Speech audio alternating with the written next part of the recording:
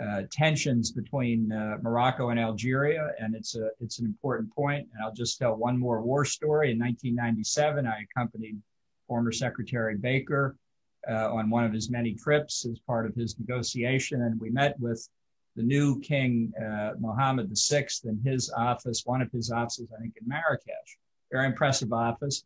Behind his desk was a map of Morocco, you know, in one of those map cases where you can close the doors but the doors were open. So we could see the map of Morocco that hung behind his desk. You won't be surprised to hear it included the Western Sahara. It also included the western half of Algeria and a big chunk of Mauritania. So, you know, there are a lot of tensions in the region. They're not all caused by Algeria. I, I think the Western Sahara could be a viable state.